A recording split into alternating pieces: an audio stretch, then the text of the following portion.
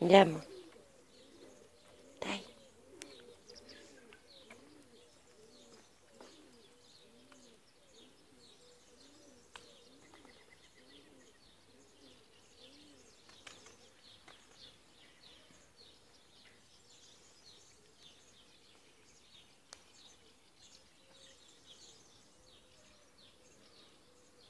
Dạ, Sale aquí. Ya, nos vamos.